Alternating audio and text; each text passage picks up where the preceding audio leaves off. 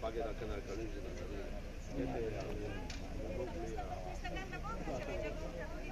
No, e, no